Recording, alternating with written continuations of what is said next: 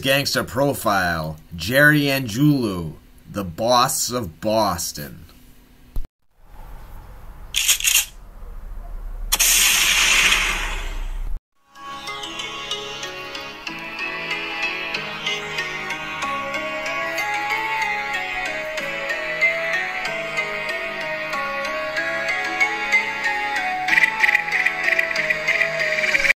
Gennaro Jerry Angiulo, the underboss of the New England Patriarca crime family and the boss of Boston, ruled the city for almost three decades. Angiulo is known for his short stature, hawkish features, loud booming voice, and a brilliant mind for numbers. He and his brothers made millions for millions of dollars for the Don Rain Patriarca over the years with their vast illegal and gambling enterprises. Angiulo turned Boston from a backwater in the 1950s into the machine that was one of the most lucrative markets on the East Coast. With Patriarca's blessing and the muscle of Ilario Zannino, aka Larry Baione, the Italian Mafia was the real power in Boston's underworld, which was a predominantly Irish city. Gennaro Angiulo was born to Caesar and Giovannina Angiulo, immigrants of southern Italy, Naples to be exact. Angiulo was one of seven brothers. They lived on Prince Street in the heart of Boston's North End. The North End was the first stopping point for all immigrants coming to Boston. It was separated from the rest of the city and was tucked in by the undesirable waterfront. It was a cramped area of tenements and squalor. First, the Irish came in the 1860s and 70s with the Great Potato Famine. And then in the 1880s, Eastern European Jews came, and they eventually settled in the South End and Roxbury. Then finally, at the end of the 19th century, the Italians came.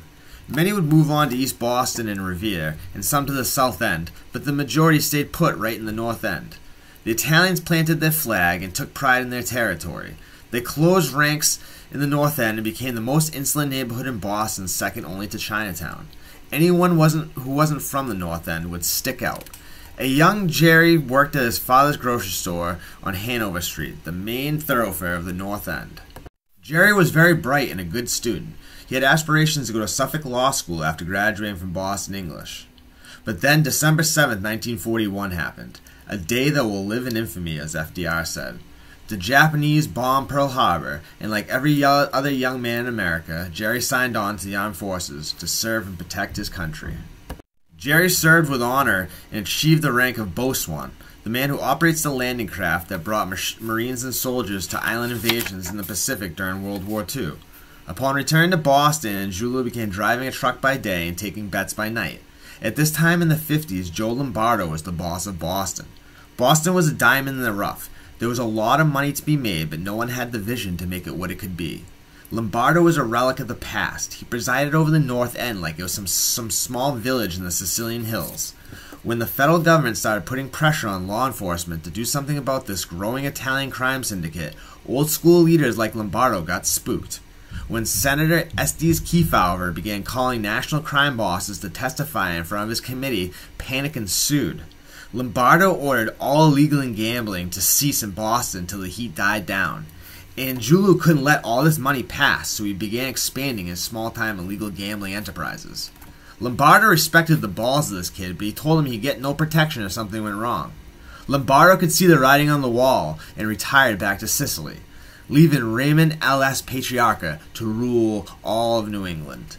Raymond Patriarca was one of the strongest old fashioned traditional mafia bosses in the history of the mob. His family was one of the strongest, wealthiest, and smoothest running operations in the country.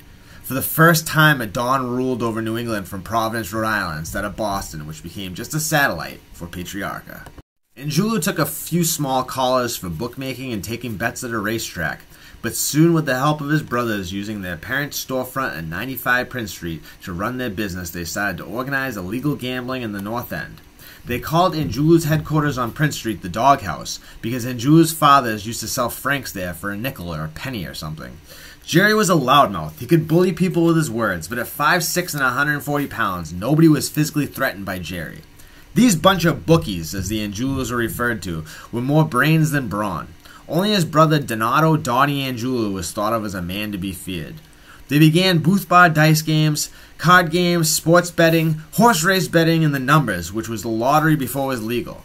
The Angiulos are racking in the cash, but this also brought undue attention from sharks like Larry Baione. Seeing the money that the Angiulos were making and knowing they were not connected, he saw a feast before his eyes. Realizing that Baione wasn't going away, Angiulo wasn't about to let somebody extort him for his cash. So, in a bold move, he put $50,000 into a suitcase, which is basically the equivalent of a quarter million dollars today, and took a road trip to Federal Hill, Providence, at Raymond's office on Atwells Avenue.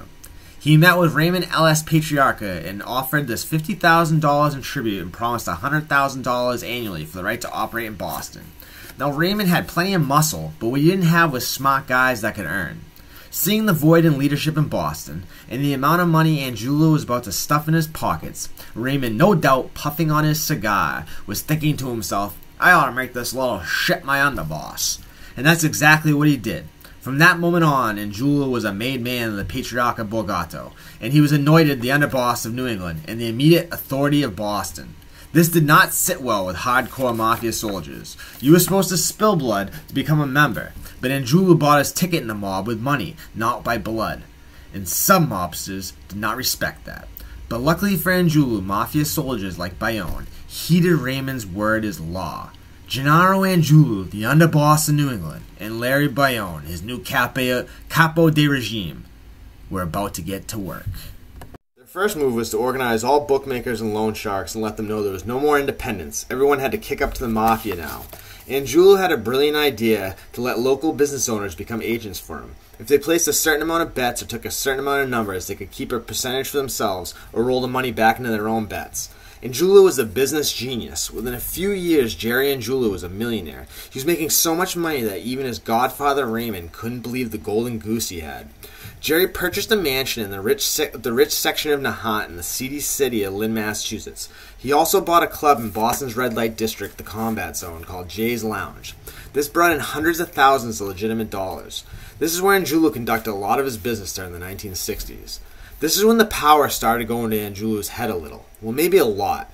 Doing his best George Raft impression. Now, for my viewers that are younger than 80, George Raft was in the old black and white gangster movies on Turner Movie Classics.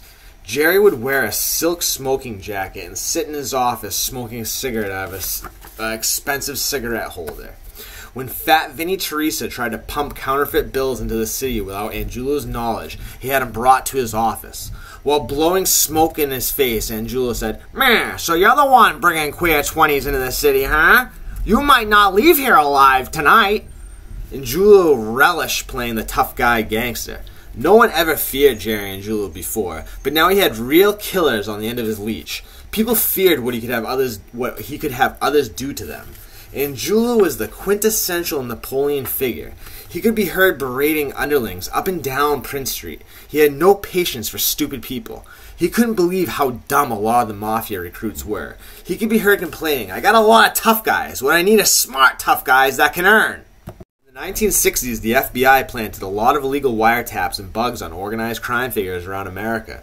After decades of denying the existence of an Italian organized crime syndicate that was infiltrating every facet of legitimate society, the FBI and their Looney Tunes director J. Edgar Hoover went balls deep into an information gathering campaign to catch up on lost ground.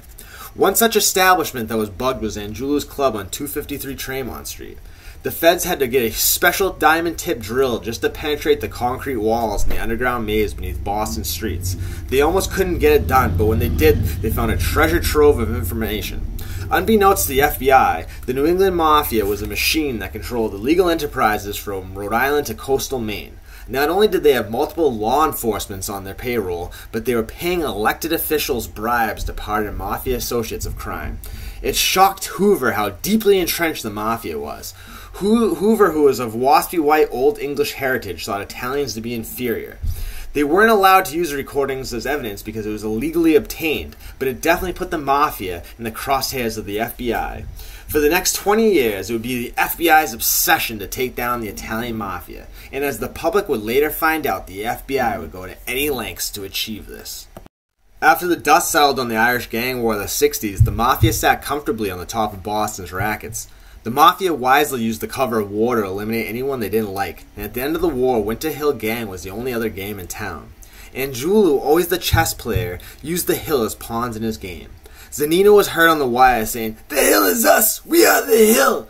But when the Notarangeli brothers of Medford started their own crew and began bumping into Jerry's interest, he used the hill to vanquish them. By using Hill assassins John Martorano and Joe McDonald, Angiulo wiped Indian Al, his brother, and their entire crew off the face of the earth without one mafia soldier spilling blood. Angiulo was cunning to say the least. Going into the 1980s, the Patriarca Borgata was one of the richest, most powerful crime organizations in the country.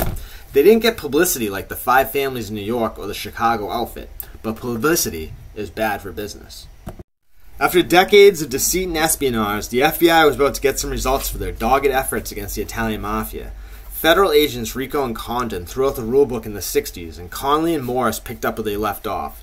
The FBI always made sure that their men rose to the top of the Boston underworld. In my opinion, they were the biggest gangsters in the history of Boston. When Jerry Angiulo called Steve the Rifleman Flemmi to the doghouse on Prince Street to discuss a $50,000 loan that Stevie hadn't repaid, Angiulo didn't berate him and he treated him with respect, not knowing that the whole time the devious Flemmi was drawing a map in his head of the doghouse for the FBI. It wasn't easy, especially in the cramped North End, where someone was always watching, but the FBI broke into the doghouse and planted a bug. There was a lot of background noise, but you could clearly hear Angiulo's booming voice. They listened to Angiulo and Zannino discuss RICO, RICO, which was the new tactic to prosecute the mafia. It was aimed to take down bosses who were insulated from day to day operations. The feds themselves were just figuring out how to use it in court.